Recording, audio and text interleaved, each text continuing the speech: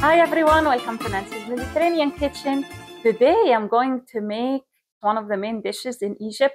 It's molokhia, which is the green soup. A lot of people had asked me to, to make it, and finally, it's among one of our series of the main Egyptian meal, which is chicken, molokhia, rice, and keshk. Today we are going to make the most famous dish in Egypt, molokhia. Let's start.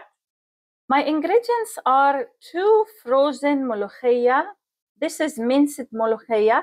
Molokhia is the Arabic word. You can pronounce it as molokhia. And we live in the US, so we don't have the fresh one. I was never lucky to find a fresh one. Um, so I buy the frozen one, and usually there is a small bag of frozen um, inside. So I'm using two today. This is how it looks like. I have here five cloves of garlic, two teaspoons of coriander powder, and a pinch of salt. I'm going to grind them in my old style mortar and pestle. I have two tablespoons of butter where I'm going to fry the garlic in. The main thing where we will put the molokhia is the chicken broth. I have here four cups of chicken broth. I have one chicken stock. Usually I don't use it except for soups and I buy the one with low sodium. If you uh, if you are in a Mediterranean country and you can use the fresh one, that will be much better, of course. And you can always use use a big board where you put the molokhia leaves on it, and then you use this special uh, crescent-shaped knife that the Italian use it to chop their vegetables. It's called mezzaluna, and I will post a picture of it if you want to make it fresh. I'm going to add my chicken stock here. Make sure it's dissolved. Then I'm going to add the molokhia. So it's only half an hour defrosted because I want it to be mostly frozen. Then I'm going to cover it and turn off the stove. That's one trick, trick number one. There will be another trick that I will show you at the end. So now we are leaving the frozen molokhia to melt in the chicken broth slowly, slowly. And while it's melting, I am going to prepare the garlic so that we can fry it. So as you see, I'm going to start grinding it.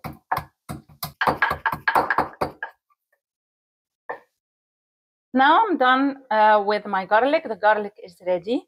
I'm going to show you the second trick now is to add a little bit like half a teaspoon of uncooked garlic to your molokhia. It will add a very nice flavor and give it a mix. As you see, it's not melted 100%. This is when we will turn the stove on, medium heat, and I'm going to put the garlic in my frying pan. They have to be running together. This is the trick. The trick is to put the garlic on the molokhia just before it starts boiling.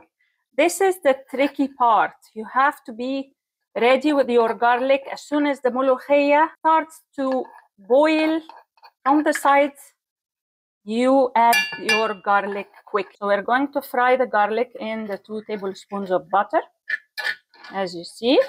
So both of them are cooking at the same time. I like to use a whisk for the molokhia to melt because it helps. If there is any like clumps it helps it dissolve. See how green and nice it is? When it's green and fresh, it's actually greener than this. It's like deep green. It tastes really amazing. I wish my American friends can try it and let me know in the comments below how it goes.